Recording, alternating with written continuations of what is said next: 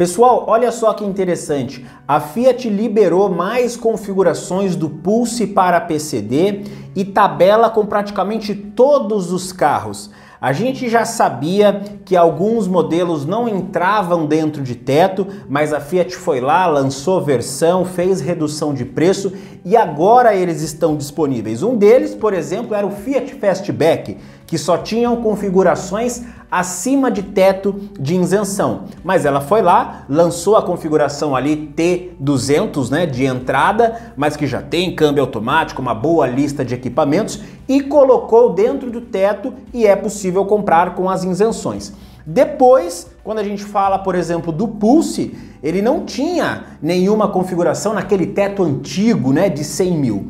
Quando a regra mudou agora em 2024 para 120, ele começou a ter duas configurações dentro desse limite, que era a Drive e a S-Design, mas a Fiat ainda assim não divulgou nada. Depois ela foi lá, pegou a Audace Turbo, reduziu o preço, aí ele ficou dentro dos 120 e ela liberou né, pra gente, já mostrando o preço com as isenções. Só que não bastando isso, agora ela também liberou a configuração Drive com câmbio CVT. Então o Pulse já tem duas configurações com câmbio automático dentro de teto com as isenções. E nesse vídeo eu vou falar para vocês de todos os modelos que a Fiat oferece no momento para que o público PCD possa comprar com isenção. Vamos lá para o conteúdo do vídeo para vocês verem essa tabela completa. Começando ali, primeiramente, com o Fiat Mobi, que é o modelo de entrada, e tem duas versões com motor 1.0 e câmbio manual. A primeira é a Like, que sai de 71.990 e vai para 60.390, e a Track, que sai de 74.990 e com a redução 63.251.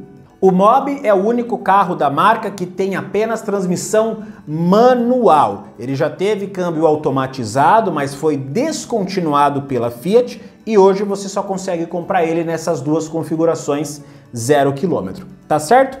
O próximo, que é o Argo, ele tem configuração tanto com motor 1.0 e câmbio manual, como também câmbio automático do tipo CVT. Vamos dar uma olhada na tabela. Os dois primeiros com motor 1.0 e câmbio manual é a versão de entrada mesmo, 1.0, que sai de 83.490 e vai para 71.359, e depois a Drive, que sai de 86.490, sendo reduzido para 74.220.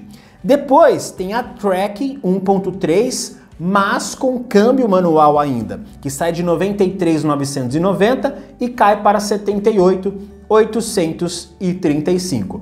Essas são as três configurações do Argo que tem transmissão manual.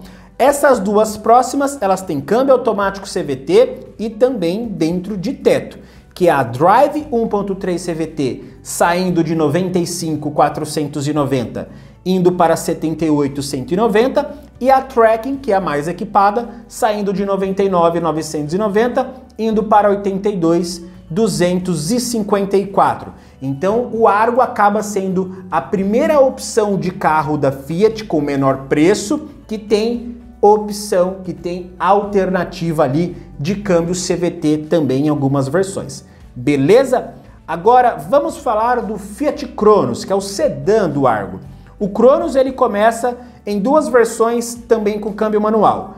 A Drive 1.0, que sai de 92.990 e vai para 75.522, e depois a Drive 1.3 manual, que sai de 98.990, vai para 78.385. As duas próximas configurações do Cronos são equipadas com câmbio automático CVT. A Drive 1.3 que sai de 101.990 caindo para 80.995 e a topo de linha, que é a Precision, também com câmbio automático, 111.990 indo para 87.275. A Precision não ficava dentro do teto de 100 mil na regra passada, né? E agora, como a possibilidade é até 120, ela acabou entrando. Então é mais uma alternativa aí. Agora vamos falar do Fiat Fastback, que tem quatro configurações disponíveis e depois a gente vai falar do Pulse, das duas versões já liberadas e todas as outras que ainda ele tem disponível e podem voltar aí a ser oferecidas para o público PCD. Eu vou dizer para vocês o porquê. Vamos lá. Primeiro, falando do Fiat Fastback. O Fastback tem a primeira configuração, que é a Turbo 200 CVT, sai de 117.990, caindo para 101.620. Depois, as configurações mais recheadas também entram com isenção do IPI e bônus. O primeiro é o Audace Turbo, que sai de 142.990 e cai para 124.615. Depois a gente tem a Impetus Turbo, que sai de 152.990 indo para 133.331. A Limited Edition, que é uma edição limitada ali, já recebe o motor T270, né, que é 1.3 turbo, sai de 155.990 e vai para 139.140. Aquela versão 1.3 Abarth, que é a esportiva do carro, ela não está disponível no momento, mas é o que a gente costuma dizer para vocês. Nem sempre as marcas acabam divulgando e passando ali para o concessionário na condição de vendas direta. Mas isso não significa que ela possa entrar aí numa tabela futura tudo vai depender da estratégia, da condição que a marca está oferecendo. É sempre bacana perguntar lá na hora o do porquê aquela configuração específica não está sendo ofertada. Pode ser que eles não estejam divulgando, mas dependendo você consegue comprar lá fazendo negócio. É sempre legal perguntar lá para o pessoal da concessionária. Beleza, gente? Agora vamos falar do Fiat Pulse, né? Eu quero explicar algumas coisas para vocês antes de passar a lista completa do Pulse. A primeira coisa, gente, é que assim, a configuração manual, ela não teve ainda cotação com as isenções, então ela só está sendo ofertada com IPI e bônus. Então nem vale a pena você comprar porque ela vai sair mais cara do que automático. Por quê? Porque a Fiat ainda não fez os cálculos, tá? Então por enquanto a gente deixa ela pendente aí, vamos esperar a divulgação. Agora, a Drive 1.3 CVT, a Audace Turbo, a gente já tem aqui valores com isenção, tá? Enquanto a Impetus, que é a topo de linha, que inclusive sai de 131.990 e cai para 115.29, está disponível para o PCD normal com IPI e bônus, porque passa dos 120 mil. Em compensação, a Drive e a Audace Turbo estão dentro dos valores aqui, dentro do teto para PCD. E olha por quanto que elas saem.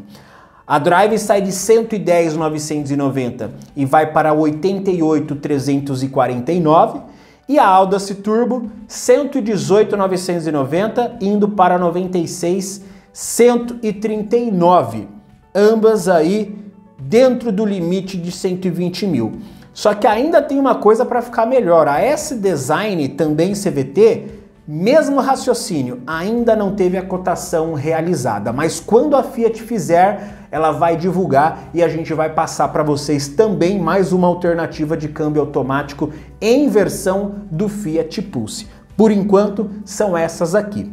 Tá certo? Qualquer coisa, deixem as dúvidas aqui de vocês nos comentários para a gente continuar preparando os próximos materiais aqui para o canal. Vou ficando por aqui e até o próximo vídeo.